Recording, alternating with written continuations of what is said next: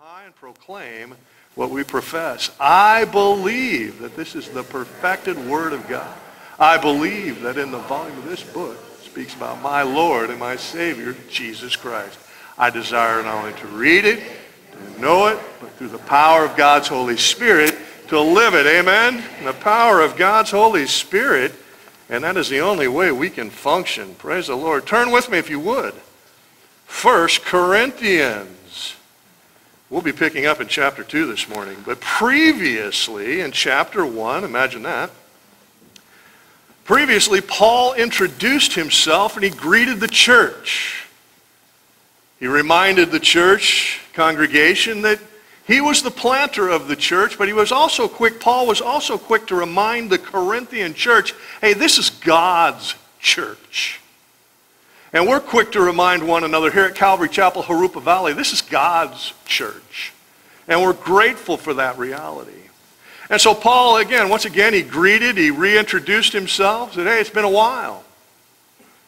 But then Paul quickly brought to, his, brought to the attention of the church, hey, I heard there's some divisions in the church. Well, some of you are saying that I'm of Paul and I'm of Cephas and I'm of etc., etc. And Paul's saying, hey, wait a minute, is Jesus Christ divided? And obviously the answer is, of course not. Too often we get our eyes on the pulpit and we forget about the Lord. Isaiah confessed that when the Lord took the king, Isaiah realized, wait a minute, I have been having my eyes on the king, and my eyes need to be on the king of kings.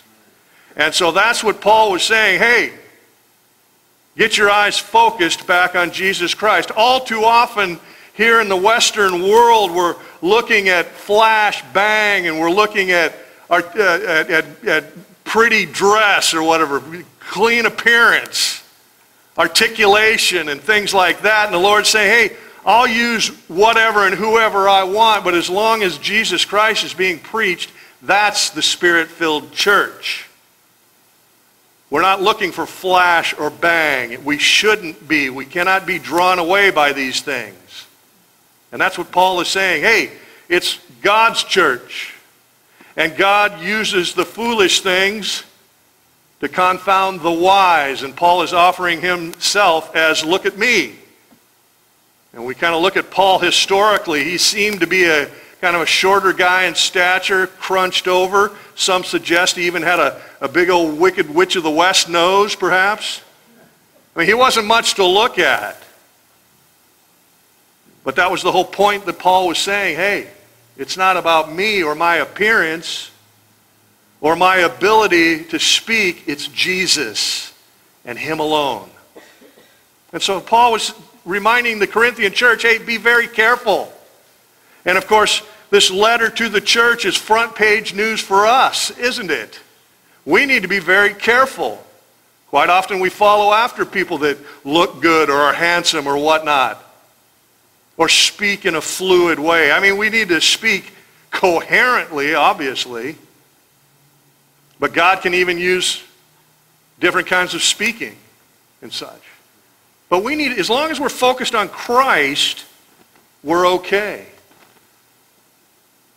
So Paul concluded last time his salutation by reestablishing a simple truth for all born-again believers. To all born-again believers, he who glories, Paul reminded us last time, let him glory in the Lord. If you're going to brag, brag on what the Lord is doing in your life and give him all the credit. I like to say jokingly on occasion, someone says, hey, great message. I say, hey, I blame the Lord. That's just my little joker way of, of saying that. But hey, it's all about the, know, thanks, praise. I'm glad you got touched. But you know what? Talk to him about it. Great. I'm, you know, we'll fellowship together and such, but I blame the Lord. And that's what Paul is saying. Remember, Paul was saying, what I taught you. I taught you Christ crucified. And I spent 18 months with you. And when I left, the church was absolutely intact. The church lacked nothing when I left. But now I'm starting to hear some of these rumblings, And now I've got to deal with them. Paul would have much rather been dealing with other things. He'd much rather be evangelizing. He'd much rather be planting other churches, which of course he did. But he couldn't neglect the rumblings that were coming from Corinth. The church. Paul's thinking, the church that I planted, and all of a sudden everybody's going three different directions. What's going on? Christ is not divided. This has to stop. It will stop. I will bring correction, as we will see as we continue through this letter to the Corinthians, both 1st and 2nd Corinthians. Paul was, was bringing it. It stops. In fact, some people I, I might even have to remove from the church, he warns, and, and, and did. It stops. The Lord, uh, uh Paul says through the Lord's guidance, this division stops. That's what goes on outside the doors of the church, but it will not be tolerated under this roof, Paul is saying. It won't. You think it will, but it won't. I will bring correction with the authority of the Lord. So, Father, we ask you to bless your word this morning. We thank you for it. What a great letter to the Corinthians, but yet how relevant it is for today. Teach us. We're here to hear from you. Thank you, Father, in Jesus' name. Amen. So verse 1, 1 Corinthians chapter 2, and I, brethren, when I came to you, I did not come with excellence of speech or of wisdom, declaring to you the testimony of God. Hey, I just came just like Jesus came. Paul is saying, I didn't come with great pomp or circumstance. I came just like Jesus came. Well, how did Jesus come? Well, in the next couple of weeks, we're going to be reminded that Jesus, born to the Virgin Mary, was delivered in a manger. Now, can you imagine? We got up this morning and it was 60 degrees, you know, 59 degrees this morning. We're thinking, oh, it's freezing out. And we were in the comfort of our own homes, wrapped up in little blankets and things. And yet Jesus was born outside in a dirt patch, technically. And it was cold out there. That's how Jesus came. Jesus came and was introduced with humble beginnings, born in a manger. Now we remember that Jesus lived a quiet life for 30 years with his common everyday parents. Mary and Joseph, they were not people of renown. Joseph, common guy, regular guy, much like us. Mary, regular gal. And so Jesus lived a quiet life, a humble life for some 30 years with his parents. When Jesus did finally reveal himself as Messiah at the appointed time, he was then despised and rejected. We would kind of think that as Jesus revealed himself as Messiah, he would be welcomed, right? But he was despised.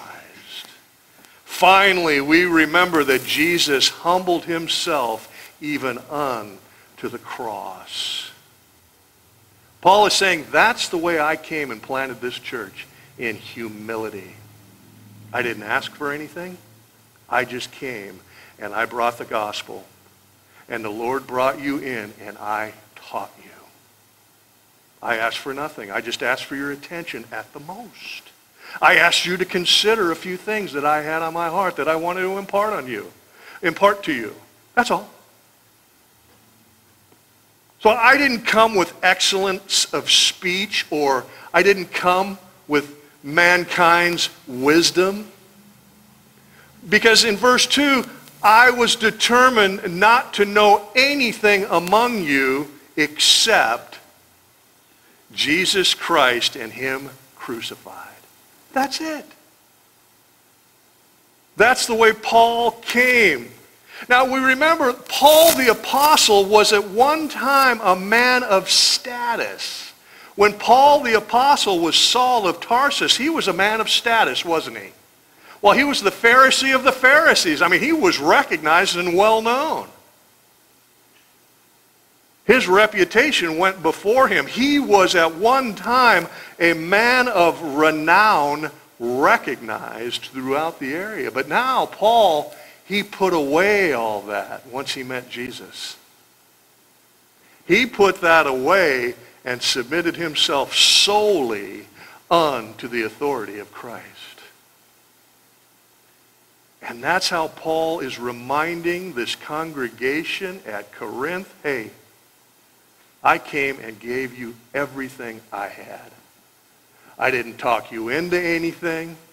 I didn't try to schmooze you into anything. I brought you the gospel, and God breathed on it and touched your hearts, and you became born again. To God be the glory, Paul is reminding the Corinthian church. Paul continues on in verse 3, I was with you in weakness, in fear, and in much trembling. Paul will expand on that a little later. But he continues on, my speech and my preaching were not with pervasive words of human wisdom, but my words were in demonstration of the Spirit and of power. I heard Damian Kyle one time mention, great teacher. If you pull him up on the radio or on, on the internet, Damian Kyle, marvelous guy, dry sense of humor, knows the Bible inside and out, just a great guy, Damian Kyle. I heard him speaking one time at a pastor's conference, and, and Damian was saying, you know, sometimes I listen to certain preachers, and their teaching, their message is so polished and so smooth and almost even oily that when I try to grab hold of it, it just slips right out of my hands. I thought, what a brilliant, poetic way of demonstrating the eloquence of verbiage. Sometimes it can be so slick that there's nothing to grab onto. It just kind of, like that bar of soap slips right out of your hand. Nothing to hold on. No rough edges, no, no, no handles or anything to grab onto and say, yeah, that's mine. And I like the way he said that. And that's what, what Paul is saying here. I, I came in weakness, fear, and trembling. I was nothing to be observed and, and admired. But I came with reality. I came and you know that you took a hold of my teaching and my preaching and you were able to hold on to it because it wasn't polished or smoothed down or, or even oiled or lacquered over. It was relatable and usable. It was the demonstration of the Spirit and uh, of power, verse 5, that your faith should not be in the wisdom of men, but in the power of God. Way too many teachings are being presented today that just slip out of people's hands. They're too slick. They're too perfect. They need to just be put up on a little shelf and looked at. Ooh, isn't that great? Well, how do I apply that in my life? I don't, but it sure looks great. Right? That's what's going on. And a lot of presentations are so smooth and so slick, they just slip right past us. They are not in the power of God. Remember when the Lord spoke to Moses and said, hey, Moses, you're going to go talk to Pharaoh. You're going to tell Pharaoh, hey, Pharaoh, I'm representing Jehovah God, and he says, let my people go. And Moses right away objects. Moses says, gee, I can't even hardly talk. But Moses was a very trained man. But I have to believe that was the Lord revealing himself to Moses and in a humble condition as Moses knew that he was in the presence of the holy of holy, the holiest of all. Moses kind of dropped it down a few notches. Wow, Lord, how am I going to represent you? Every time I open up God's Word to prepare for the following week to teach, I say, Lord, you need to teach me before I even consider breaking any of this down to anybody else. They're your kids, Lord. Teach me. I won't let you go, Lord, until you teach me. And I'm being a little sarcastic in that, but Believe me, that's what happens in my office every Monday morning. Lord, you got to teach me. You have to. I'm not leaving this office until you start opening us up to me first. And so Moses humbled himself under the mighty hand of God, and, and the Lord responds and said, okay, Moses, that staff you have in your hand, throw it down on the ground.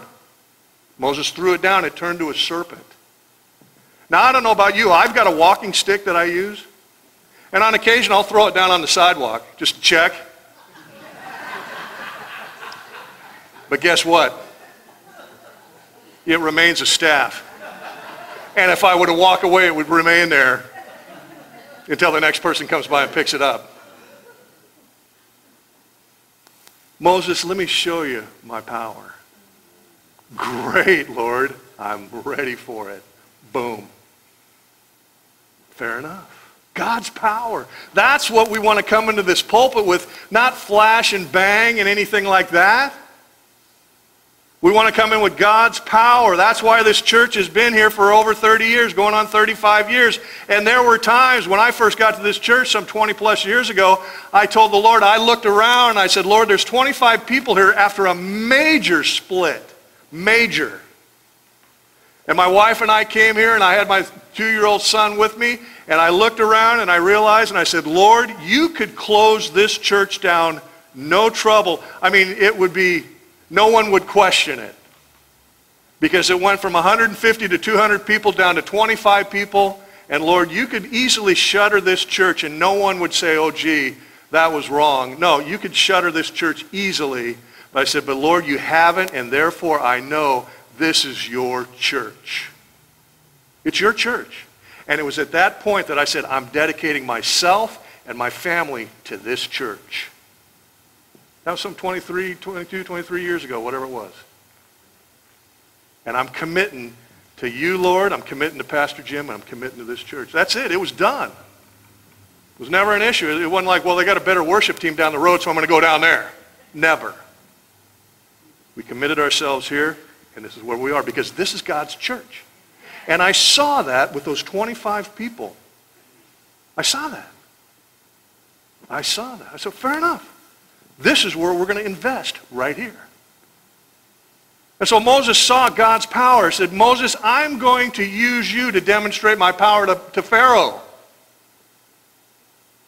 And Paul was saying, I came with God's message, with his power to speak to you. To plant a church.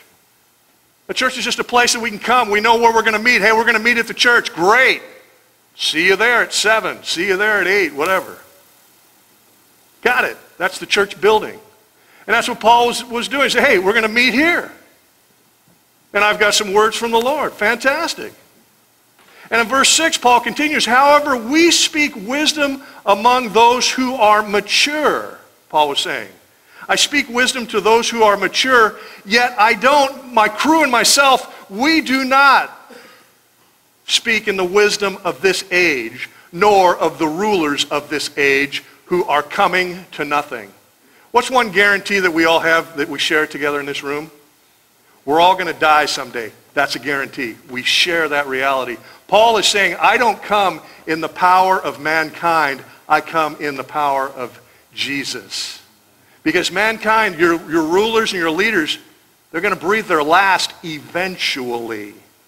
So Paul is saying, so why would I want you to invest in something that's going to pass away? I don't want you to invest in something that's going to pass away. I want you to invest in God. So I didn't come with human wisdom because eventually that's going to fade away. Verse 7, but we speak, Paul saying, myself and my entourage speak the wisdom of God in a mystery. Interesting word, a mystery. The hidden wisdom, Paul goes on, which God ordained before the ages for our glory, which none of the rulers of this age knew, for had they had known, they would have, they would have not crucified the Lord of glory. We speak the wisdom of God. But yet to some, it's a mystery. Many people spend their whole life sitting and hearing God's word, but they haven't been allowed to crack the mystery because they don't care. They're coming in punching their time card, thinking they're impressing the Lord, saying, look, Lord, I was at New Year's Eve service. Look, Lord, I was at Christmas service. Look, Lord, I was at the Easter, Easter service. I was even at the sunrise service, Lord. And they're thinking they're impressing the Lord. And Paul is saying, hey, there's a, a mystery, a hidden wisdom, and it's all about God. Paul goes, now hold that thought for a second because Paul goes on to paraphrase Isaiah 64, 4. Paul says, it is written, eye has not seen, nor ear heard, nor have entered into the heart of man the things which God has prepared for those who love him. Paul's paraphrasing Isaiah 64. And Paul is saying, hey, there's a mystery that even Isaiah spoke about. Remember in Matthew chapter 13, we consider Matthew chapter 13 the chapter of the parables. Jesus spoke several parables to the crowds that followed hard after him. The parables of Matthew chapter 13. A parable in simple definition. A parable is simply a relatable story that has a heavenly meaning. That, that's just the sim- simplicity of, of what a parable is. We use that word a lot. A parable, a parable. But it's a relatable story with a heavenly meaning. Now, Jesus, as we see, was desiring to be relatable to his audience. We never find Jesus doing this to normal everyday people, do we?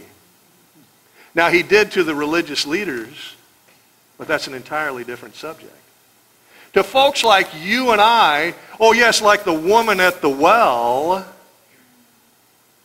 Jesus spoke relatably.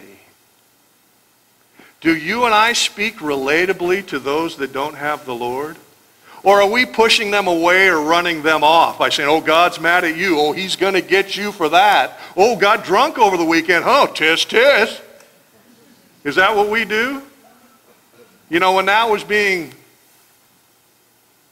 displayed to me while I was in the world, I just began shutting that person off. There was no evangelical value in that kind of confrontation. I knew I was in the wrong.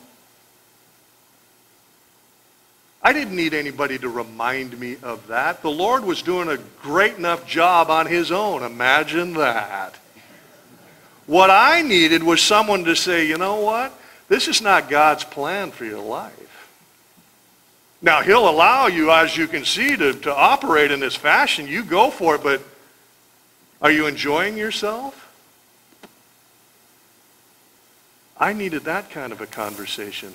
That's the kind of conversation, that relatable conversation that your acquaintances need. They need that from you. They're not going to get it from their drinking buddy. They're not going to get it from the guy that's selling them baggies of white stuff. They're going to get it from you. They're going to get it from me. Hey, man, God's got a better plan for you. That's what they need to hear. And that's what Jesus was doing. Jesus would sit down with people and give relatable stories. And people go, oh, wow, this is great. Now, people responded differently, but Jesus met folks in a relatable situation. Fair enough? And so there's two fascinating, there's many fascinating things, but there's two fascinating things in Matthew 13 that jump out at me. Number one, first, as Jesus finished the parable of the sower in Matthew chapter 13, his disciples came to Jesus and asked. Did you get that? The scripture tells us in Matthew chapter 13 that Jesus' disciples came. So what did that mean? So the majority of the crowd faded away, and guess who was left? The disciples. The ones that wanted a little more information, everybody else, they kind of said, well, he must be done. Let's get out of here. Yeah, they're all out of turkey sandwiches, so let's bail. That's what was going on. His disciples, Matthew 13 tells us, his, Jesus' disciples came and asked. They asked, hey, would you tell us the finish of this story of the parable? Would you translate that for us? I mean, here's a farmer planting in hard soil, good soil, rocky soil. We don't get it. And Jesus with a smile ear to ear. Yeah. Now the teaching begins. The parables are over. The folks that couldn't care less, they're gone. Now I'm going to pour in to you folks. Jesus responds in Matthew chapter 13. He says to his disciples, it has been given to you. Those of you that hung around, those of you that made an effort, those of you that sacrificed your afternoon, it has been given to you to know the mysteries of the kingdom of heaven. It has been given to you to get to know the hidden wisdom of God. This mystery Paul's been talking about in, in our text.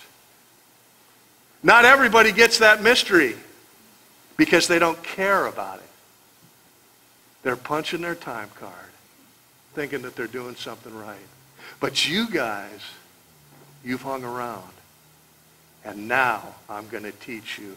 And I'm going to let you know the mysteries of the kingdom of heaven because you're searching for it. And because you've searched for it, you've found it. You found it. And again, Jesus' smile was ear to ear, and his heart was just pumping out of his chest. He says, I'm going to pour into you now. You're going to get everything I've got. You disciples. Paul continues on in our text in, in verse 10, but God has revealed his wisdom, this mystery. God has revealed his wisdom to us through his Spirit. So I repeat the previous verse because it bears repeating. God has revealed his wisdom to us through his Spirit.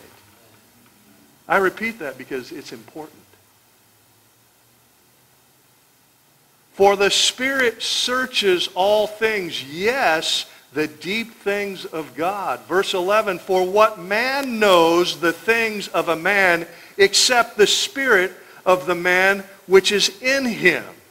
So you and I, as human beings, we relate to one another because we're humans. We can all relate in some fashion. I mean, when you walk in the door and you're coughing and, and not feeling good and say, man, I feel crummy, I can turn around and say, I can relate. I know what you're talking about. I can dig it. This is a tough time of year sometimes for sickness. So we can relate as human beings. We, we, we relate. Physical to physical, we relate. That's, that's great. Even so, though, Paul goes on, even so, no one knows the things of God except the Spirit of God.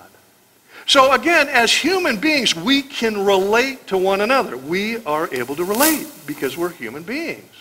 Yet when it comes to the things of God, it is only the Spirit of God that reveals. Woman at the well, Hey, we were, I was taught by my human teachers that this is where we're to worship. And Jesus nodded his head and said, yeah, you were taught that, but now I'm going to teach you something. God, as you know, Jesus said, is spirit, and God is to be worshiped in spirit and in truth. Boy, do you ever know other, some other lady that was set free that instant? I mean, she just went, yeah. That's what I've been searching for. I've been looking for relationships physically, but yet I need a relationship with Jehovah God, and I can only find it through his Holy Spirit, and that set her free. Instantaneously. She demonstrated her, her freedom by running back to town and said, hey, you got to come back with me, man. You have to. You got to come and meet this, this teacher. He teaches like nobody I've ever heard. And believe me, he teaches like no one you've ever heard. he is teaching who the Lord is.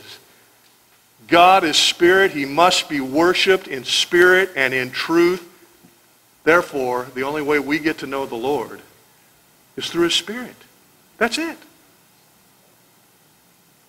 Now we have received, verse 12, Paul goes on, we have received not the spirit of the world, but we have received the spirit who is from God, that we might know the things that have been freely given to us by God. Just like the Hebrew church, which we just studied, just like the Hebrew church, Paul, speaking to the Corinthian church, is speaking to Christians. The Hebrew church was full of Christians. They were in a major backslidden condition. Major. But God didn't cast them away. That's why I chose to allow the Lord to reveal to me our next chapter, our next book to teach was we went through the Hebrew church, now we're going through the Gentile church. Same exact problems in both churches. Same exact things. Started out as born-again believers, but began to get rocked to sleep. And guess who was doing the rocking? Satan himself. Oh, it's okay. I'll take good care of you. And that's exactly what's happening here with the Corinthian church. Paul was brought to get arrest the attention of the Christian church here at Corinth. And he's speaking to them as Christians. Hey, when I left, you were in good order. You were walking closely with Jesus, but I left and all of a sudden now, where's this other nonsense teaching coming from? It's not coming from the Lord. And I need to arrest your attention. Verse 13, these things we also speak not in words which man's wisdom teaches, but we teach which the things which the Holy Spirit teaches, comparing spiritual things with spiritual. So once again, in our human experience, we relate to one another in a natural way. But, verse 14, the natural man does not receive the things of the Spirit of God. For they are foolishness to him, nor can he know them because they are spiritually discerned. Lord, open my eyes. I mean, there's going to be a teaching today, and I, I don't want to necessarily, I, I'll listen to the communicator, but Lord, open my ears so I can understand what you're wanting to teach me? I can read Scripture all week long, but until I start saying, Lord, you teach me, I'm getting nowhere. I can read these words. I got an eighth grade education. I can read okay. But until I ask the Lord to teach me, I'm going nowhere. I'm going nowhere. Might as well go out and paint the wall or something. At least get something I can say, hey, look, look what I did today. Paul's saying, hey, we don't come and speak in a natural way. We come and speak under the power and the authority of God the Holy Spirit. Zechariah tells us clearly, Zechariah 4, 6, not by might nor power, but by my spirit, says the Lord Almighty. Pastor Chuck planted Calvary, the Calvary Chapel movement on that.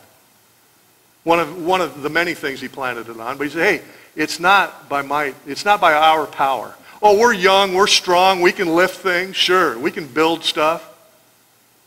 But if, the, if it's not the Lord that builds the house, don't bother. And that's what Pastor Chuck started this movement, and we want to end it in the Spirit of the Lord. And that's what Paul is saying. Hey, you started in the Spirit as he's speaking to the Galatians. You, hey, you foolish Galatians, you started in the Spirit. Now you think you're going to end in the flesh. Did you hear what I said? Paul said, you foolish Galatians. You're fools. This is a church that I planted. You're now fools. Because you are being drawn away from the finished work of Christ. That goes across the board. Anybody that is drawn away from the work of Christ and wants to replace it with their fancy flashbang presentation, they're fools. There was a guy in the Philippines, uh, the pastor of his church, the Calvary Chapel, uh, Dumaguete, in, in uh, the Philippines. And in his pulpit, he had it taped onto his pulpit, and it said clearly, we want to see Jesus. And every time this pastor went into his pulpit, he saw that scripture. We came to see Jesus. He saw that, and he lifted his eyes, and he saw, these people are here to see Jesus. They're not here to see me. They're here to see Jesus. And that was a great reminder for him every single time he got in that pulpit. Oh, sure, Lord, I'm your conduit. And I even have a nice pressed shirt on, and I cut my hair. But you know what? These folks are here to see Jesus. Wonderful pulpit.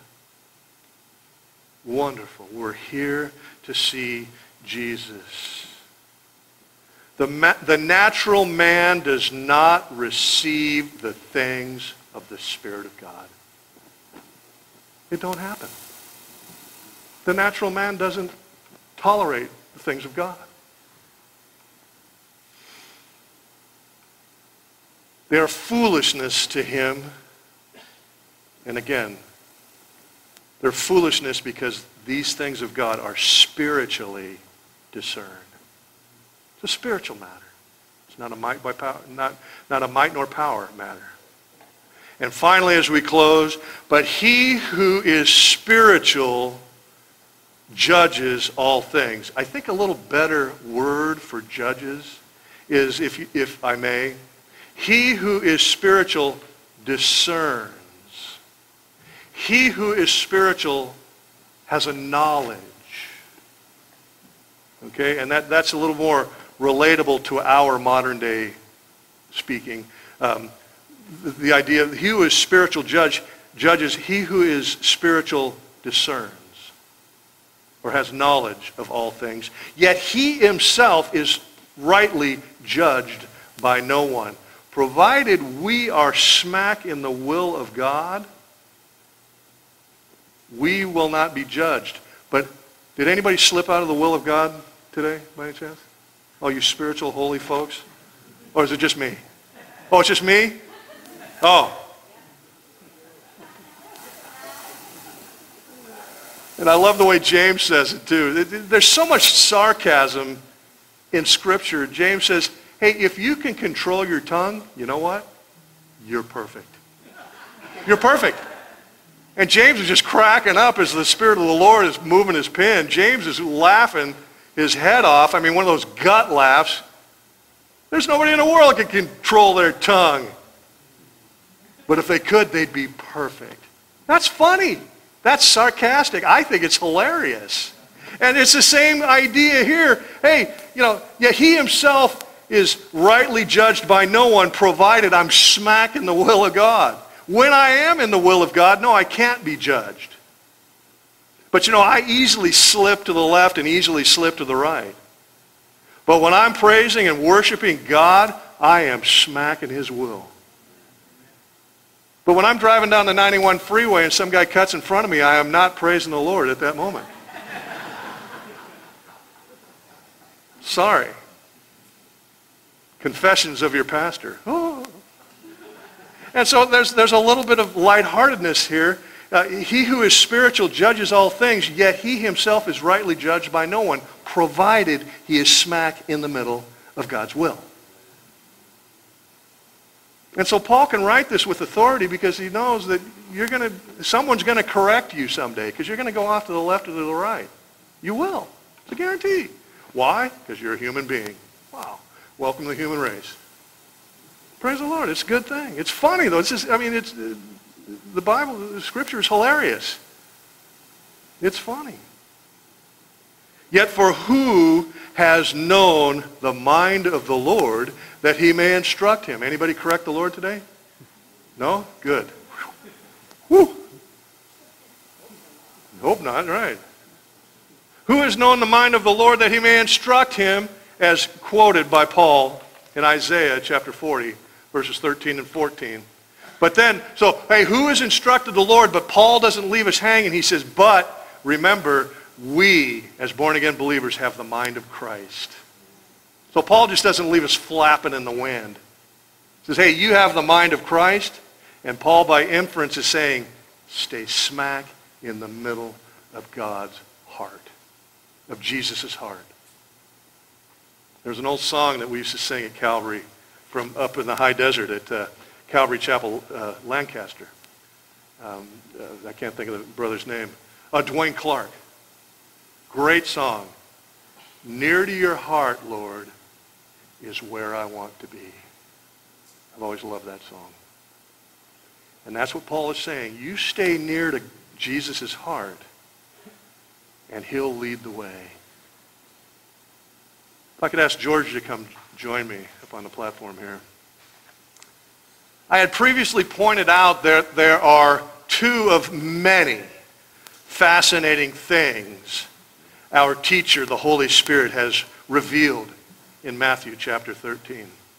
The first thing that I noted for us was that Jesus himself revealed to his disciples that it was given to them the ability to understand the parables because they wanted to understand them.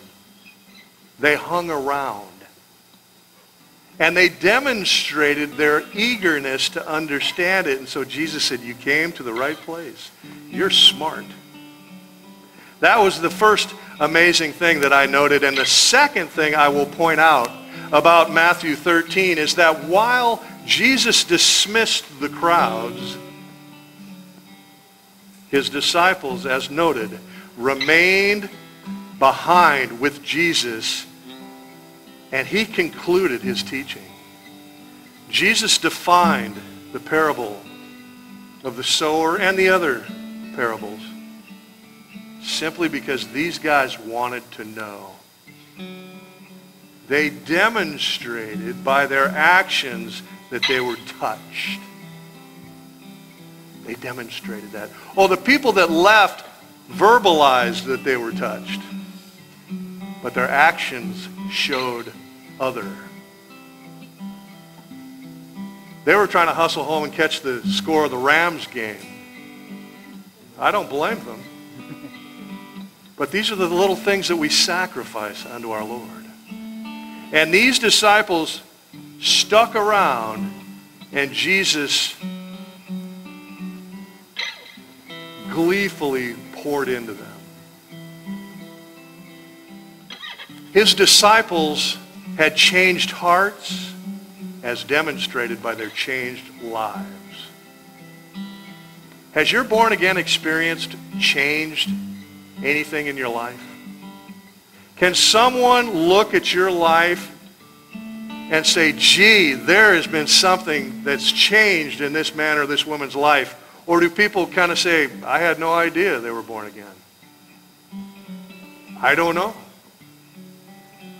One of the greatest compliments in my early walk with the Lord was my wife was over at picking up our vehicle at a mechanic shop and they were having conversation about something and it turned towards some spiritual things and Connie said, oh yeah, my husband, and this is a, a new relationship that we had just had, oh my husband, he's uh, the, the associate pastor at Calvary Chapel and the mechanic kind of looked at her as she told me the story and kind of said, you know, I believe that. It was a new relationship, and, we, and, and time was, was peeling off until we could get into spiritual things. And I was glad to know that I had the ability through my life, my actions, my feet, my hands, and my conversation, that even though I hadn't uh, announced that we were Christians yet, he knew when, when it was time for my wife to reveal that, he received that. He said, yeah. I believe that. I would have been heartbroken if he would have said, what, that bum? That guy, that foul-mouthed knucklehead? You know what? He yelled at my other, some of my employees and, you know, he went in there and trashed this or that or he brings his vehicles in and they're just a mess and these bumper stickers. What, that guy's an associate pastor, huh? None of that at all. And that really humbled me. And it was really the Lord saying, I'm changing your life. And I was so happy. I didn't have to say a word. I was just so grateful unto the Lord. Thank you, Lord. Thank you. Has your born again condition changed your life? Have you allowed that? Can people tell that you're born again? Or do they kind of set their head back and go, hmm, I'll have to think about that one. That can be changed starting today. Jesus' disciples, they hung around. They had changed hearts, and they demonstrated that by their changed lives. They used to fade away with the crowd, but now they stuck around. Jesus, can we have a moment? He said, absolutely, I've got all day. And they said, great. The Corinthian church lost that desire to be led by God the Holy Spirit. They lost that desire. Well, they were gathering. They had a couple of Bibles here, there, some scrolls, what have you. They gave an hallelujah here and there, sure. But the Corinthian church lost the desire to be led by God the Holy Spirit. They began mixing worldly ideas in with the church. And we're seeing what God thinks about that. He says, no. No way. Unacceptable. Words of God. Unacceptable. I will not tolerate that. Repent. Come back. Written to the Corinthian church, but absolutely front page news for you and I. Lord, let us recognize that in our born again condition, you have and are continuing to change our lives. Let that be evident by our humble walk. Let that be evident for our, by our love for you. And let that be evident as we reach out to those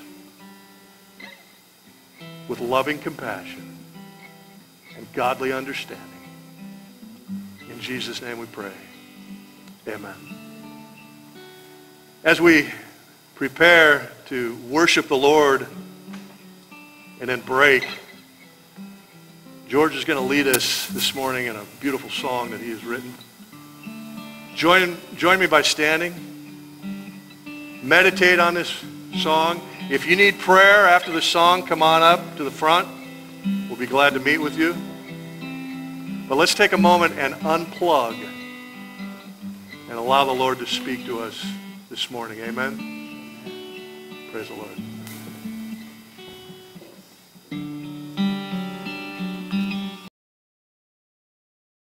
Hi, everybody. Pastor Greg, Calvary Chapel, Jurupa Valley. Hey, we're so glad that you've been enjoying the videos, and we just know that God has been touching you and just giving you a blessing through these teachings. But you know, we'd like to give you a challenge.